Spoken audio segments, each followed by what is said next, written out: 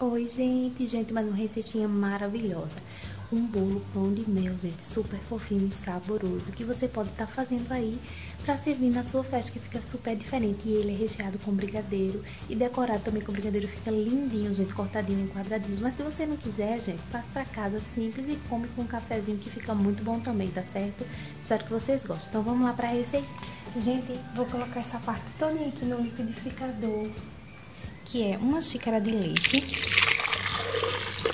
três ovos, três quartos de xícara de mel, eu tô usando melaço, uma xícara de açúcar mascavo, uma xícara de chocolate em pó, e aqui, gente, eu tenho é, aqueles, aquelas especiarias, né?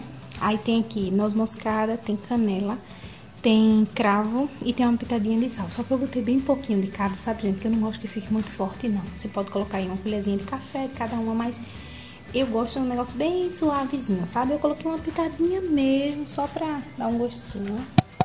Vou botar aqui. E duas colheres de manteiga. Aí a gente vai bater isso aqui tudo muito bem agora, tá certo? Aí, gente, agora eu vou despejar a misturinha aqui. Vou peneirar a farinha. Duas xícaras de farinha.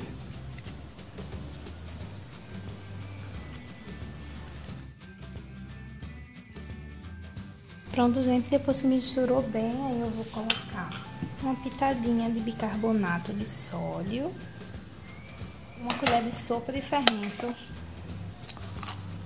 Aí agora a gente só incorpora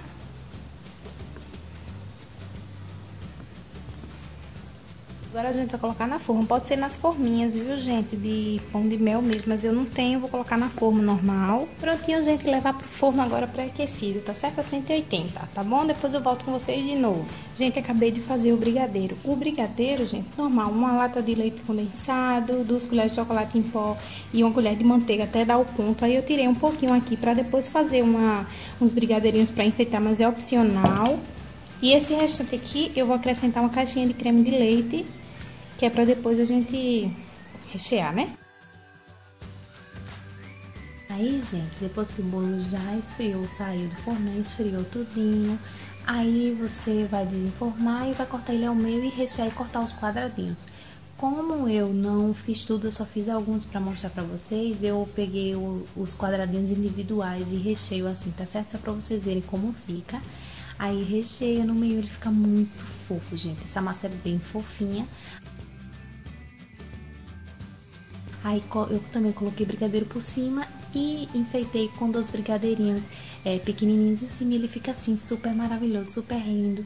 E olha aí a consistência dele, gente. Tá vendo como ele fica maravilhoso, gente? Eu espero muito que vocês tenham gostado. Tá certo, gente? Um super beijo pra vocês. Fiquem com Deus e até o próximo, gente. Beijos!